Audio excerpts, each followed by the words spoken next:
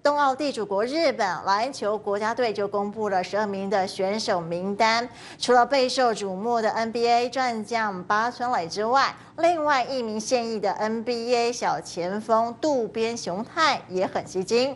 身为国家队队长的他，誓言要带领地主队取得优秀成绩。抱着球轻轻一跳，灌篮。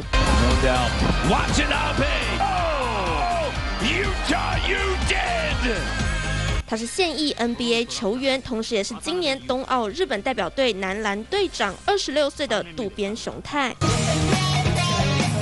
出生于篮球世家，渡边雄太从小就因为爱看 NBA 球赛，立志成为篮球员。小学接触篮球，十六岁就进入国家队培训，曾加入 NBA 曼菲斯灰熊队。今年四月转而效力于多伦多暴龙队，是日本史上第二位 NBA 球星。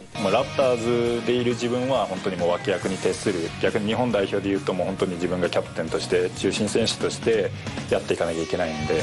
身高两百零六公分的他，主打小前锋，三分球准度高，更能稳稳的靠罚球取得分数。在日本篮坛更有万中选一的称号。不过，其实，在他的心里一直有一个遗憾。本当ワールドカップ5連敗して、僕自身本当すごい悔しかったんで、ああいう負け方っていうか、ああいう終わり方このオリンピック絶対したくないんで。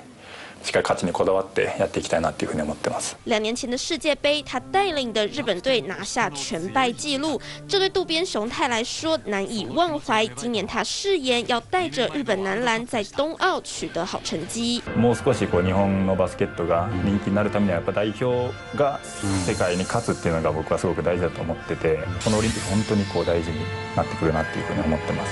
把低潮化成养分，渡边雄太坚定的决心，也让人期待他在冬奥的精彩表现。跟雄黄信息另外一报道。